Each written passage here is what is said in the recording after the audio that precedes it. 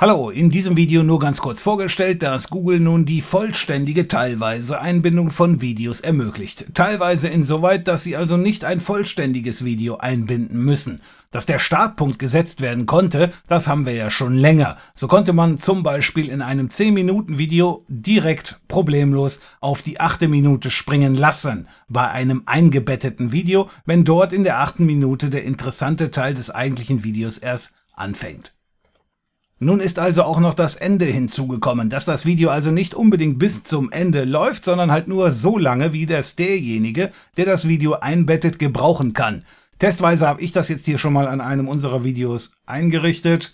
Einfach entweder Link über die Beschreibung folgen oder www.sempervideo.de slash teilweise. Da habe ich mal ein altes Video von uns genommen, das habe ich eingebunden. So, und dann sehen wir dann hier schon am Player direkt den Unterschied ja, dieser Startbutton, sage ich jetzt mal, der hier, hier eigentlich dieser runde Kreis ist, der ist jetzt nicht ganz vorne, weil ich eben angewiesen habe, das ganze Video soll erst bei einer Minute starten und dann läuft das 60 Sekunden durch und hier ist dann schon wieder Schluss.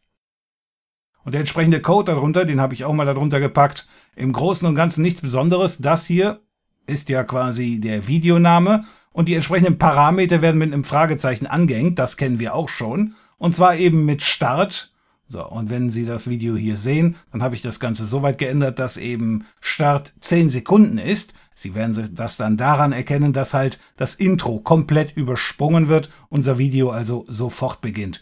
Und das Ende wird dann ebenfalls angegeben, das heißt, ich kann nicht sagen, ich möchte, dass das Video zum Beispiel 20 Sekunden läuft, sondern eben, ich muss angeben, nach 30 Sekunden Gesamtzeit ist halt Schluss.